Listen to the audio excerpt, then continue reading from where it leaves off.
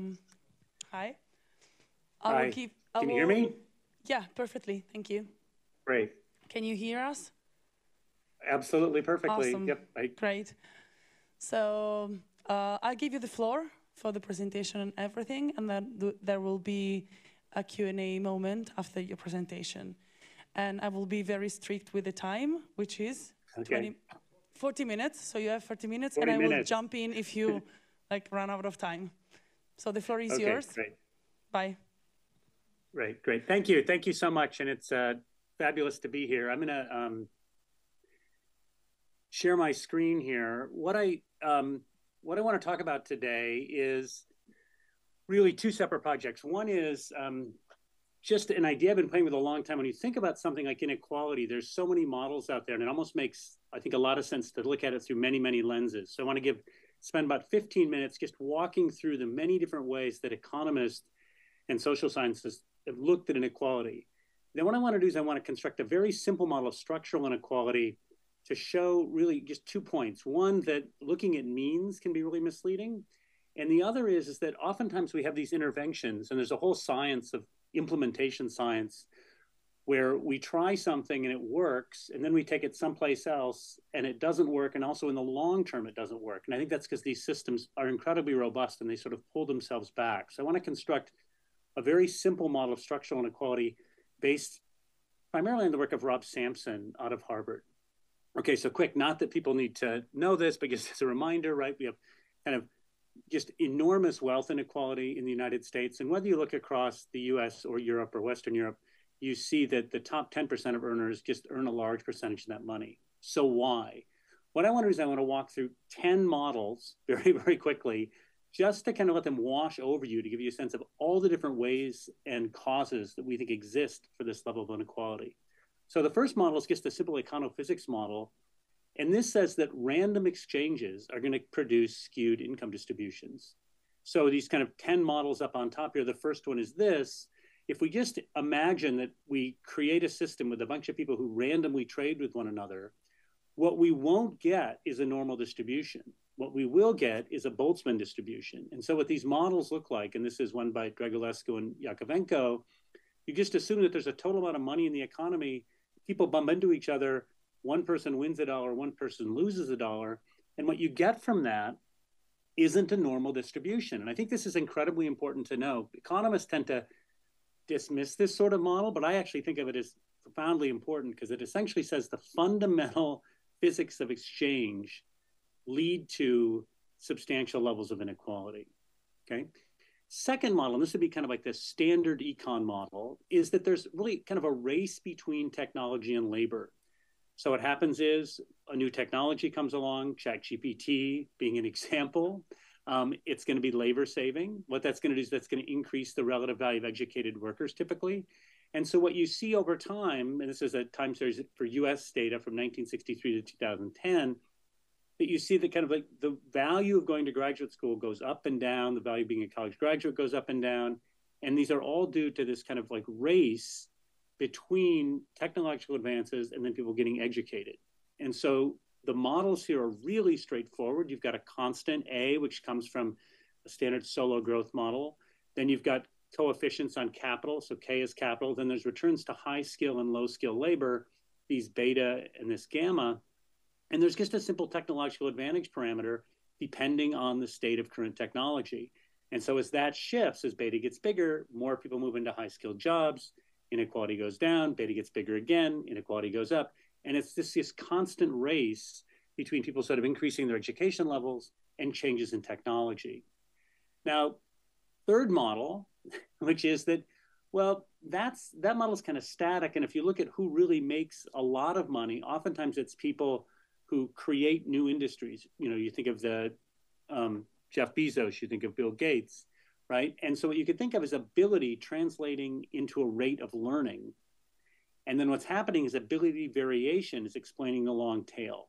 So if you look at any particular job, one of the things that's kind of amazing, and this is just airline pilots, that we've seen a skew in the distribution. So there's you know so there's inequality at the national level, but there's also inequality among college professors, airline pilots, um, accountants, lawyers. Every single profession has had this increase in inequality, Now, these are models by uh, Professor Jones out of Stanford. You just imagine each person has an ability A, but instead of thinking of that as like high skill and low skill, like the previous model, what you could think of is that like my in A is like my ability to learn. And so my income in year T equals some constant, which is the base year income, times one plus A raised to the power T. So what happens is, is if I just kind of learn more and continue to grow, my I'm going to grow at a rate A, and if somebody else has a higher rate of learning, they're going to grow faster. And so what we're seeing is just the compounding of people who sort of continue to accumulate capital. And again, there's strong empirical support for the fact that the people who make a lot of money are people who continue to sort of grow and learn. And one way to think about this is the rule of 72, which is something that accountants use all the time. If your income grows at a rate R, it doubles in 72 over R years. So if two people initially were earning $50,000 and you looked 36 years later, person who grew at a 2% increase in making $100,000, the person who grew at a 6% increase would be making $400,000. So this is just kind of a, a simple doubling sort of argument based on talent. Now, a fourth model that's similar to that and comes more from biology, and, and I think you've seen something, Luis Bettencourt, I think has probably shown some stuff like this, is that social status correlates with higher growth in this human capital. So that previous model just sort of says some people have high A's, some people have lower A's, and that's what explains differences. But what you can imagine is think of this like a biological growth model. So I've got a total amount of energy, and that energy can go into two things. It can go into maintenance or it can go into growth. And so the growth parameter here, G, is like the A from the previous model. Now, what's causing the inequality here is more structural in the sense that if I have to spend a lot of time on maintenance, I can't spend that much time on growth. So let's imagine two people. One person's born without much social status, and so they've got to pay for their car, they've got to pay for rent, maybe they're living a long way from downtown. So their maintenance costs are really, really high. Someone else has a lot of family support, high social status, so their parents buy them a car, their parents buy them an apartment, their parents, you know, pay for somebody to give them childcare, right? So their maintenance costs are a lot lower because their maintenance costs are lower. Their growth rate can be six, whereas the other person's growth rate is two, even though, right, they've got the same fundamental energy level.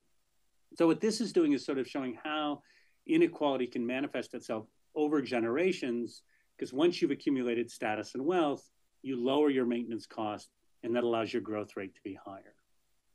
And again, articles on this all the time. A secret of many urban 20 somethings is their parents help with the rent, allowing them to live closer to work, lowering their maintenance costs.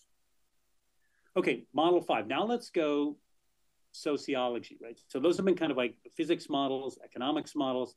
Let's go to a sociological model. And this one actually has um, maybe the most empirical support out of all of this, it's just a standard preferential attachment model. Social effects lead to big winners. So a socially constructed superstar model, this is a standard preferential attachment model. I can buy from one pro- I can buy one product or another. I'm more likely to buy things that other people buy, right? And so this is the famous music lab experiment by Salganik and Watts and others. If people don't see the songs that other people download, this is kind of the, the songs along the axis, the horizontal axis, and the number of downloads on the vertical axis. This, if we plotted it differently, would look pretty much like a normal distribution. Some songs do a little bit better, some songs do a little bit worse.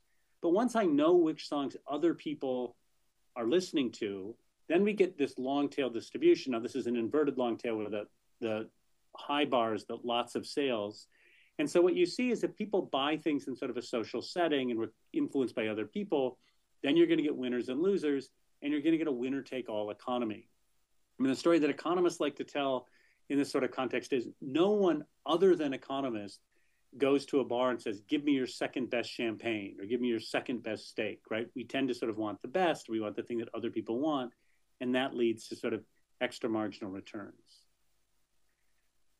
Stories so far have all been kind of like micro based and haven't had any sort of, um, you know, sort of elite that are manipulating a system.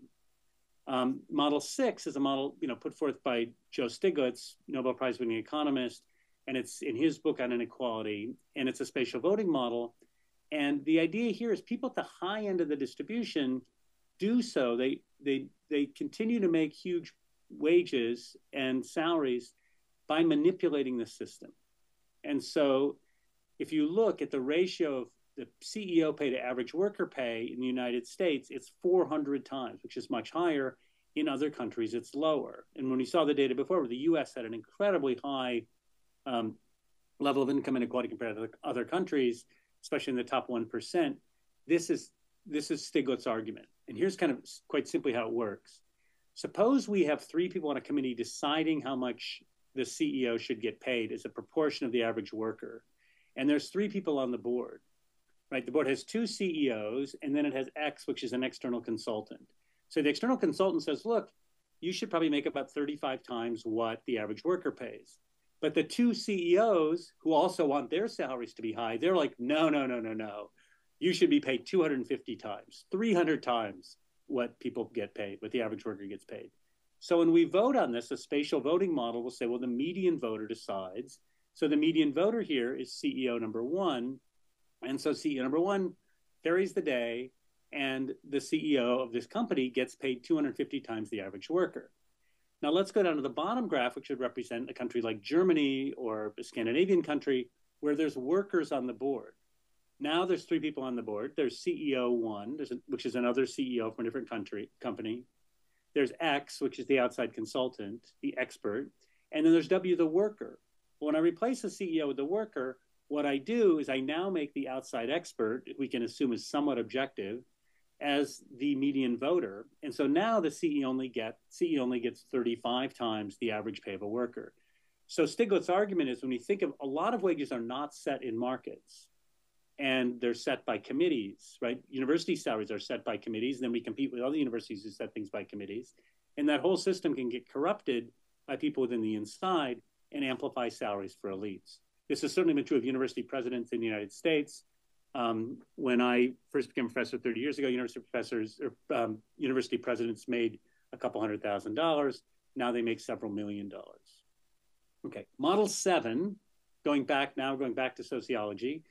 This one has a lot of empirical support. I mean, if you if you do a horse race between them, about five years ago, this one, when I checked this last, this one kind of wins. And this is a simple assortative mating argument. Highly educated people are now much more likely to marry, which increases inequality.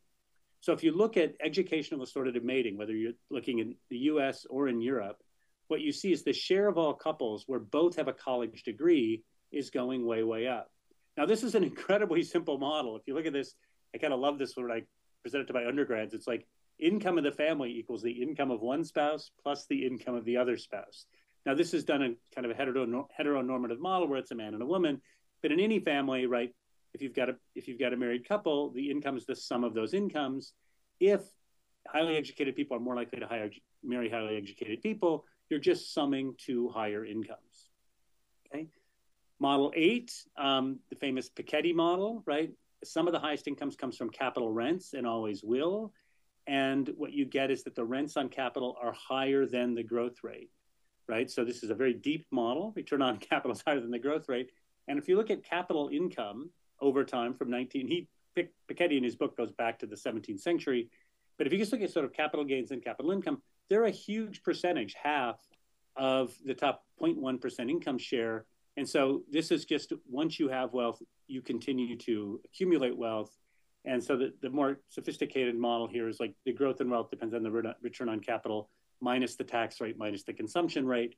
So if you have enough money that you're not, it's not getting taxed and consumed away, you're going to grow faster than the growth rate of the economy, and you're going to continue to um, accumulate money.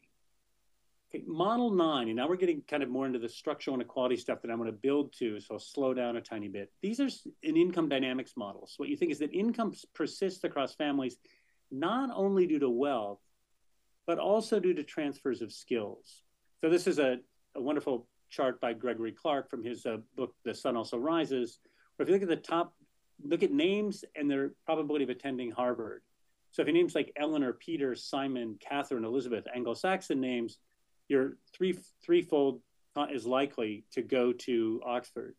If you live in England and you have an Irish name like Jade or Paige, or Shannon or Shane, your odds are like 150th as likely. And so this is getting at it's you can't make an argument that people who have of Irish descent are less intelligent than people of British descent but you can make an argument that social capital is getting passed on in such a way that some people have a much higher chance of attending these elite schools than others.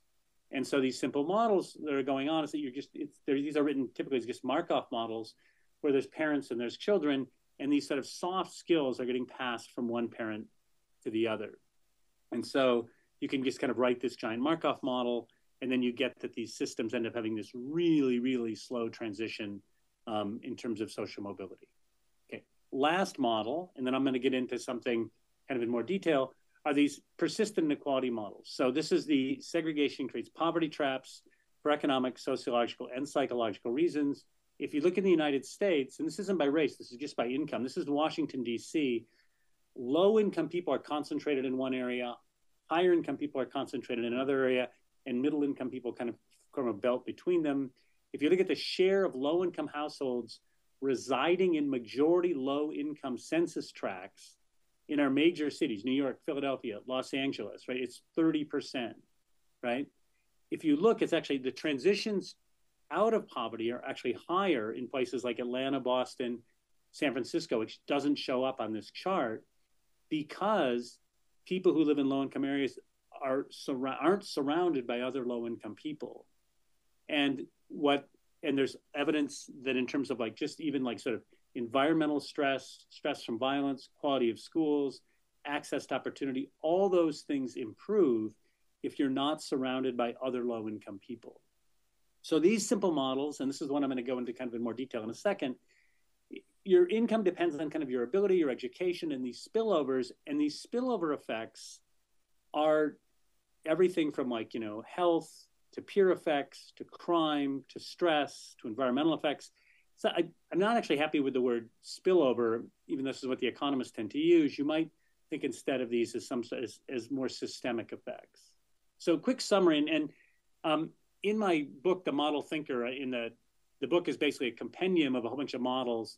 Um, the last chapter looks at um, income inequality, also looks at COVID and some other stuff, and walks through. You can you can get a recapitulation of all these arguments. But but the point I want to get across is when you look at something like income inequality, it's so easy for someone to say this is the reason, and in reality, there's many reasons, right?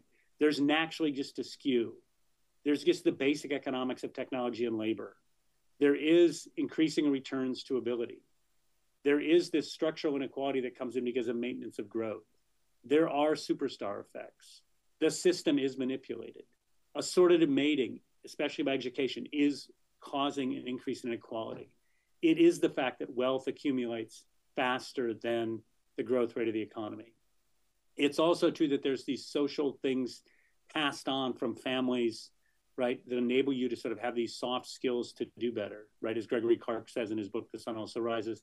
And there are these education and social forces and persistent inequality, these poverty traps that don't let people get out. So, how do we think about modeling there being multiple courses, causes? And I want to just, in some sense, go back to that last model.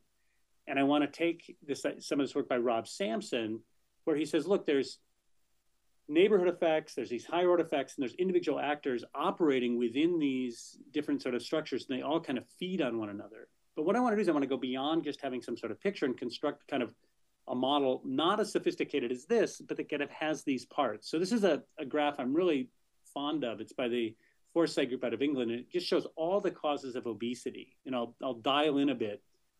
All those different colors are really different academic disciplines.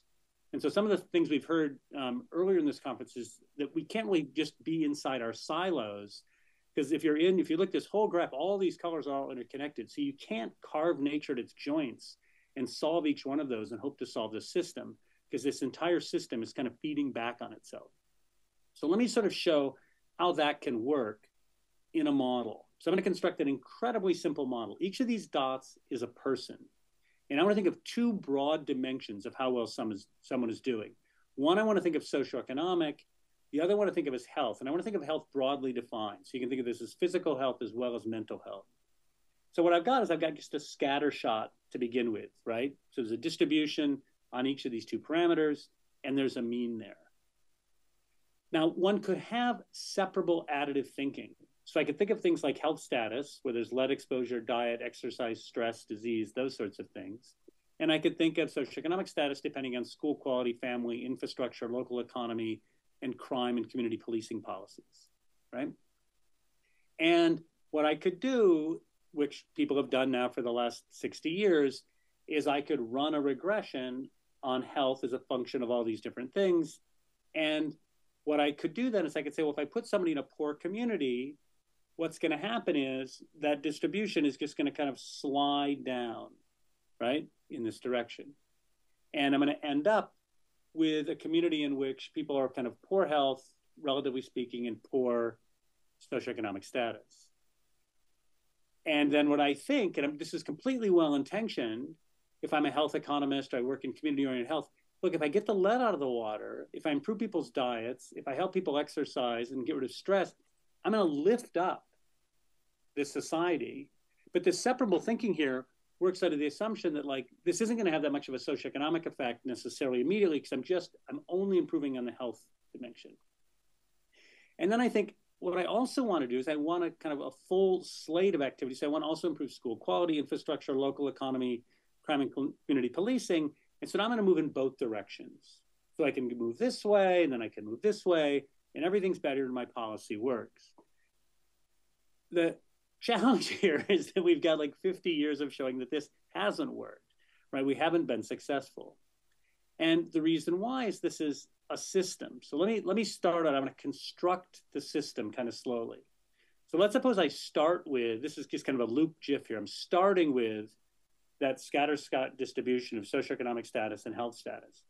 If it's the case that health status affects socioeconomic status, what that does is that pivots the distribution, right? Because if I have high health, I'm up here in high health, then my socioeconomic status gets better. If I'm poor health, my socioeconomic status gets worse. So it's just pushing the graph like this, or maybe it's like this, depending on how I'm being reflected in Zoom. If in turn socioeconomic status affects health status, that's going to push the people who are high socioeconomic status into higher health, people who are low socioeconomic status into lower health, and that's pivoting the graph this way. Well, when I put both of those in, they amplify each other. So one is pushing like this, one is pushing like that, and the system very quickly moves sideways. So when you look at this, and what's important to look at is look at the two green lines. Those are tracking the trajectories of two randomly chosen members of the population. What you see is that I'm getting a narrowing, so I'm getting a, a huge correlation, incredibly strong correlation between socioeconomic well-being and health well-being, right? That's I'm almost getting a 45 degree line. I'm also seeing one trajectory where the person who starts a little bit ahead on each is actually doing better. The person who's starting a little bit worse on each is doing worse. And the mean doesn't change. The blue dot is not moving. Right. So I've set this thing up so nothing is happening to the mean, but the distribution is changing like crazy. And when we look at this distribution, this is a this is actually just showing increases in health disparities and increases in socioeconomic status disparities that are mutually self-reinforcing. But we also know that there's kind of self reinforcing loops within each one of these. So let's suppose socioeconomic status kind of has a positive feedback with socioeconomic status or negative feedback with socioeconomic status. So if I've got above average socioeconomic status, I'm going to do better. That's like that model we had with the A being positive. And if I'm below, I'm going to do worse. So now look at the two green lines. The person who's got above social high, above mean socioeconomic status, even though they've got poor health, they're moving up the person who's got very good health but low socioeconomic status, they're moving down. So what's happening here, that positive feedback or that self-reinforcement is pulling the socioeconomic status line apart, which is another force for increasing inequality. So previously we saw these, if these two things self-reinforce one another, that's going to cause the whole system to just kind of like skew toward a 45 degree line and increase inequality. Positive feedbacks within each one of these is going to push things to the side. Now, one of the things we talked about, or I talked about, you listened about, I guess, before, is there's huge peer effects in these models as well, right? So if I'm surrounded by people who are doing well, I'm more likely to do well. And if I'm surrounded by people who don't do well, I'm less likely to do well. So if I throw a peer effect in just on the socioeconomic status, not on the health status, and I assume that like if someone's close to me, I become somewhat more like them. What that's going to do is that's going to create these bundles. And it creates, in this particular case, just the way I've set this up, it turns out I get most of the time I get like three groups. I get kind of a middle group, a high group, and a low group. But notice again, the mean bumps around a little bit, but it doesn't change because people are kind of averaging people near them. So the effect of peer effects isn't so much to increase inequality, but to create clusters of inequality. But when I throw in the peer effect plus the socioeconomic status loop, watch what happens, right? I'm getting the, the clusters again, but now the one in the middle just kind of stays in the middle, and the one at the bottom moves to the left, and the one at the top moves to the right. So the peer effect plus the socioeconomic status loop gives us a particular form of increasing inequality. Let's go to health. So this is a lead, right? And if we decrease lead, you'd think, okay, we should improve situations in the society. Even if we if lead is in the water, things should get worse. So let's suppose there's a negative environmental effect. Now, again, if I think of the world in terms of um, you know just things being kind of linear, then what's going to happen is when I have this negative environmental effect, the health of everyone in that community is going to get worse. But this is notice I've, I've stripped away all of the other stuff. And so the mean here is going down, but realize that by trying to carve nature at its joints, we have to think this just can't be the right way to think about this, right? So what if I throw in, we'll leave out the peer effects for a second, the health status affecting socioeconomic status, socioeconomic status affecting health status, positive feedbacks in health status. Now, when I throw in that environmental effect, right, I'm getting all I'm getting the the positive feedback loops between the two, getting things on the 45 degree line. I've got the environmental effect pulling things down. Suddenly, I get the whole system heading towards the corner, right? So before, I thought of health effect as just a health effect, as terrible as that may be, it's just kind of pulling the whole system down relatively slowly. But when I throw in the feedbacks in the system, it's pulling the system kind of, it's almost like looping it down into the corner. And so the environmental effect not only has an effect on health status, it has an effect on socioeconomic status, which in turn has an effect on health status. And then we get in this kind of vicious loop. And here we see that mean just racing towards the left lower left hand corner. Whereas when we had a linear view of things, we just see that mean heading straight down.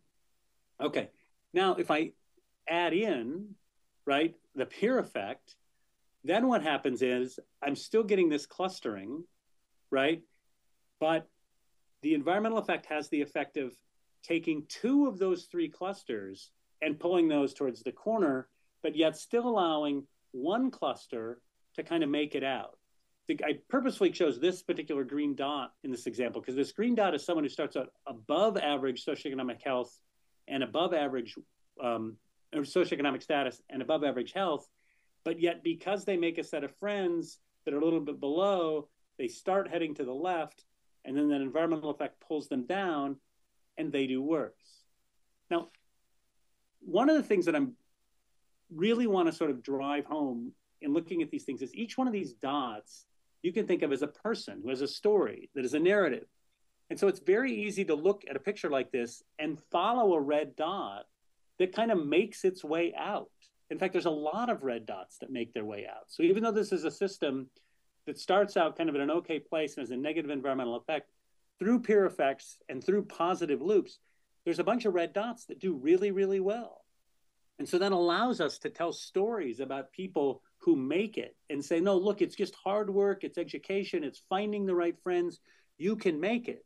That's true. You can make it, but like 10% of the people can make it. Most of the people are being sucked into this vortex into the bottom left hand corner. So you can think, okay, let's have a health intervention. Let's come in, you know, the system isn't doing well, so let's intervene on health. The thing is, if the health intervention, even if it more than offsets the environmental effect, once we're down in that corner, the low health status is feeding into the economic status and into the health status, and we're just not going to make our way out of it. Right. And you can think, what if we do both an intervention for health and an intervention on socioeconomic status?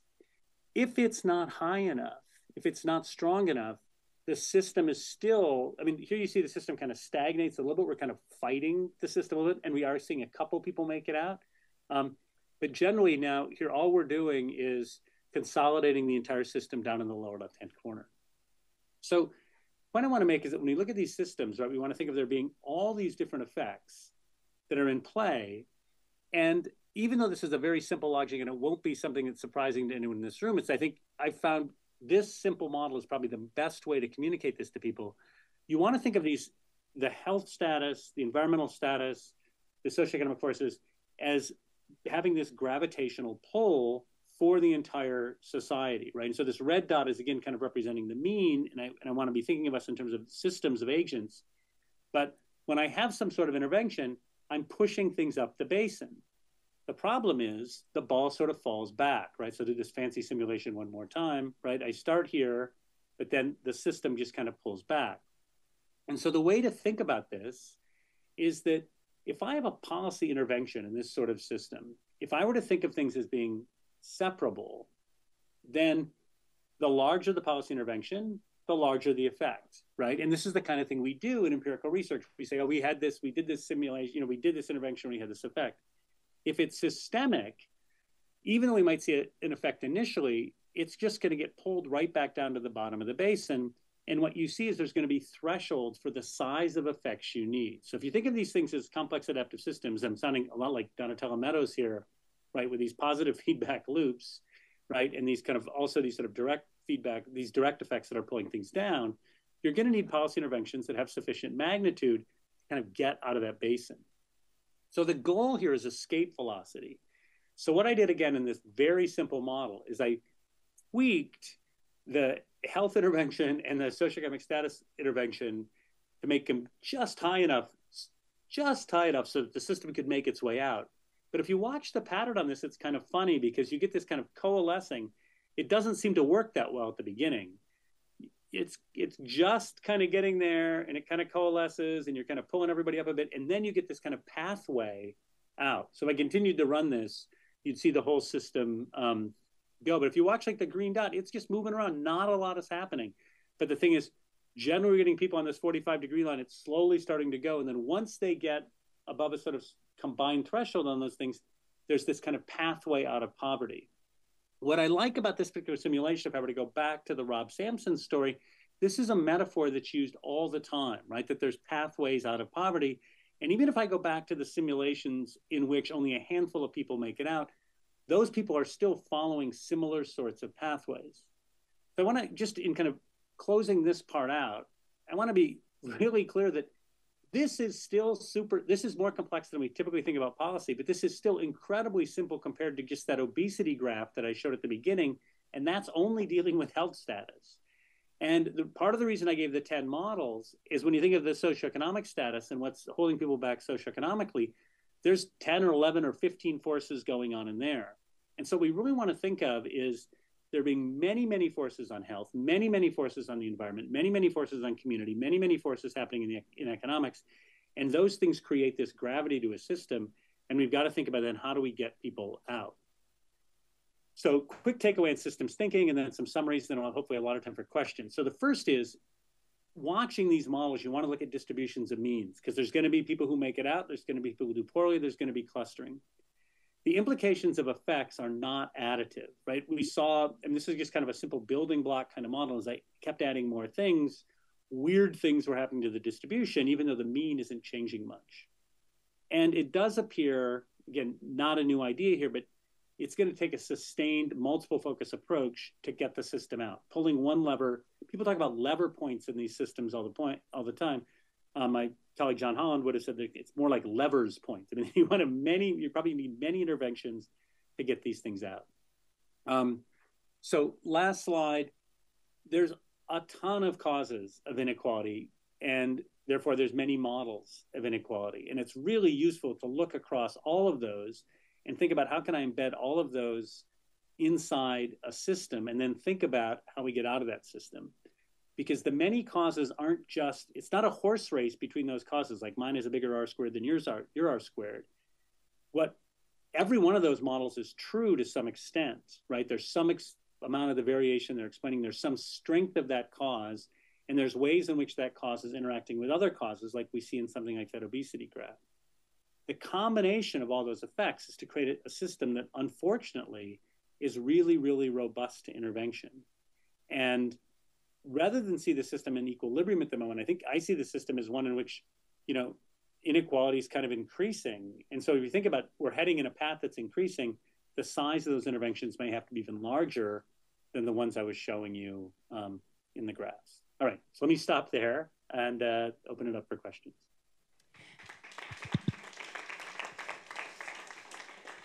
Thank you very much. You were perfectly in time. You have five minutes left, so it's uh, it's gonna be um, used for questions. I already see some hands raised, and I'm gonna go down there and then like get back to the front. And I apologize, I couldn't be. We have a graduate student strike, and so we're uh, all of us have had uh, universities in a bit of turmoil here at the moment. Uh, thank you so much for your presentation. Um, I really, really found it interesting. Um, I totally agree that I think um, there are a lot, there are many, many factors which cause inequality, and they tend to work in these kind of continuous feedback loops, and um, that you know the aim is really to disrupt. I think that feedback loop, um, but some of Robert Sampson's work actually shows that even at a structural level, a very high level, you might have major change, sometimes at the neighborhood scale, neighborhoods persist in terms of uh, where, in looking at their trajectories and in terms of um, remaining with, uh, within, you know, in, within certain poverty levels. So I was wondering if it's maybe not necessarily the size of the disruption, but rather thinking about it in terms of scale and thinking about policies in terms of um, yeah, I, I, just wanted your thoughts on that and, and in terms of like multi-scalar no, this interventions. Is a, this is such a great question. So um, Robert and I have been talking to people in Cincinnati about this in this project, and the way I've been thinking about it, it's almost like a rectangle, right? There's kind of like if you think of scale on this x and magnitude on this x, right? Like if you go smaller, right, um, it can work. The question is, you know, what can you draw a box around and still have it work, right? So like, could we go into one? Like, if you want to go into Cincinnati what's the minimal size of a neighborhood that you could go into and actually have a positive effect? That's a really interesting kind of empirical and theoretical question to ask, right? Because you couldn't, we know you can't, the household is too small, right? And the entire city of Cincinnati might be just like too big in the sense that like, you know, you need, because things need to be targeted to specific communities. And I think, you know, some of the stuff that Luis shows, Bettencourt, you know, they do this much more micro level data of, um, you know, what's going on in cities and who makes it out where and who doesn't is the kind of thing we're trying to look at to think about okay where could you make the right sort of intervention? But the other thing that i think is really important we're using some some cool platforms like one called crowdsmart where we're having conversations with people in the community is trying to get conversations between people who are ex-felons and people who dropped out and people who are doing well and people who are not to figure out what is each person's you know each little dot in that thing. What is each person's path like? What's preventing them um, from being successful. But no, but you're absolutely right. I think it, this has to be place based and um, and strategically, and also I think the the set of seven interventions that have to be done in this neighborhood are probably very likely different than the nine interventions that have to be done in that neighborhood. But it's a it's a really interesting question where you can draw those boundaries, and I think oftentimes you're politically constrained. Thank you. Right. Yeah. Uh, thank you for the presentation. I just want to ask uh, for the inequality models that we have presented, uh, which models should be used when? Like, in other words, when, when is the econophysics model better off than the other models? And then secondly, being new to the models, I also want to understand like which data sets are used to analyze such models. Thank you. Yeah, so this is a great, I mean, this is a really great question. And when I was when I was writing the the many model book, I mean, one of the things that I was just trying to start with is a very sort of simple observation, which is that if you look at sort of the total number of variables we have to measure inequality or anything, um, is enormous. And so the entropy of that entire system that we're trying to explain is huge. Any model that we can understand is going to be lower entropy. It's going to have less information content. And so what you want to have is you want to think of those models as kind of overlapping in all sorts of ways. So, you know, I, I referred to Plato carving nature at its joints. Instead, we want to think of those models as not carving nature at its joints, like they're kind of overlapping and capturing different things. And so the econophysics model is literally just looking at things like, you know, the distribution of income, right? Assortative mating is looking at just kind of like, you know, who is marrying whom as a function of education level, right? Um, so what you want to think about then is is in some sense constructing ensembles of models that are looking at sort of different dimensions. Now there's a here's here's where I'm optimistic, but there's a lot of, I think, fascinating work to be done. If I construct ensembles of models, let's take a random forest sort of approach, looking at different data sets. And if they look at, they use different, looking, if they're looking at different sort of variables, so they're simple decision trees. We have nice theorems and these like boosting algorithms and stuff that show these ensembles can predict really, really well, even though each tree is simple. But that's prediction. What we want to do here is we want to design systems, we want to come up with interventions. And so the question is, is there some sort of analog of ensemble theory, right, for design and for intervention? And so sort of getting back to your question in terms of which data sets do you look at, in some sense, I think you want to think about what's all the data we currently have. And then I think, you know, as my mom would have said, you know, people like Luis are doing kind of like the Lord's work in creating new data sets, right? Because if we have more data sets and then we have more models looking at different parts of those data sets, then I think we can, you know, get something like an ensemble theory of intervention. But you're right, each one of those is looking at, you know, is looking at very, very different sets of things. So like Stiglitz stuff is looking at kind of like, to what extent is your pay insulated? Let's look at the, let's differentiate people by whether their pay is insulated from the market or not. And then let's look at kind of the increases in their pay, right? So each one of these is kind of, you know, think of a house with many windows. Each one has got the shutters down and a whole bunch of those windows. Thank you. There was an extra. Does anyone else wanted to ask a question? So, no, just one. Okay. So I will give you the floor right now.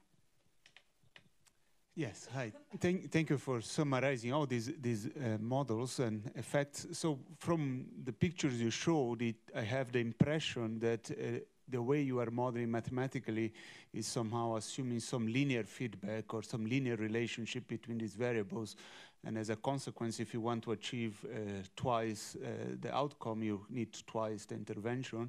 And I'm wondering, uh, and I understand it's a, a simplification yeah. in this setting, but I'm wondering in which extent uh, this is uh, a good uh, modeling approach or whether there are not nonlinear effects that could maybe a hint on, on interventions that can have a nonlinear consequence where we could maybe through uh, negative loops or nonlinear uh, instabilities, bifurcations, we, one could not uh, reverse uh, uh, tendencies with very little interventions if, if any of these effects appear in more sophisticated models, if that is relevant at all.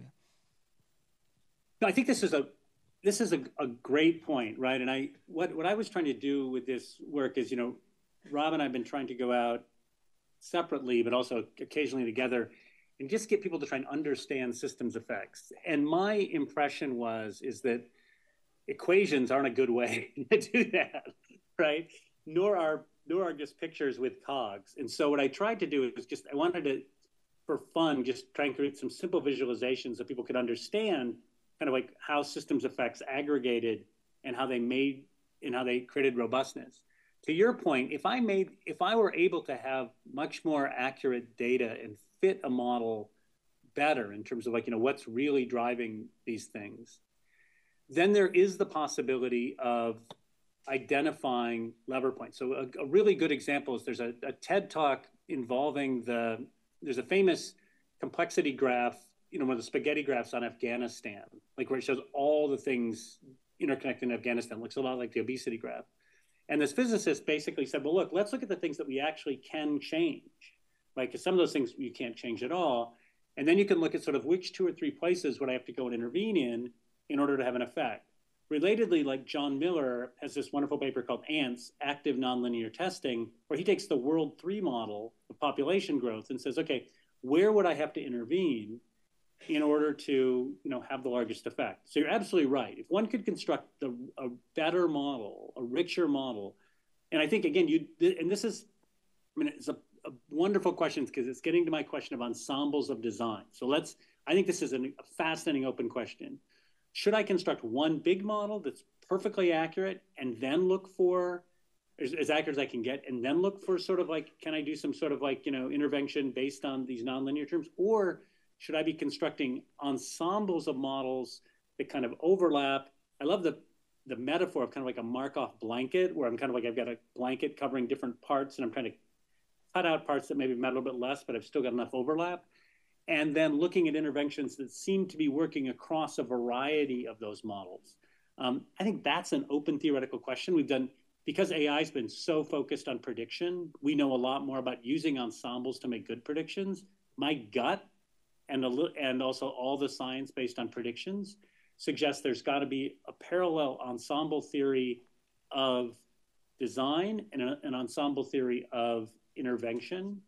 And I think that you know people have, you know, people like yourself who have training in physics and systems are probably going to be people that are going to lead that, and it's exciting, right? Because I think the possibility to, to come up with really useful policies is very, very high, and much higher than if I'm running a regression and looking what I call like big coefficient thinking in my book.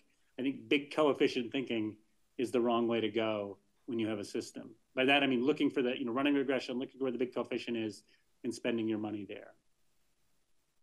All right, let's thanks Scott. You're right. You want to look for the big levers.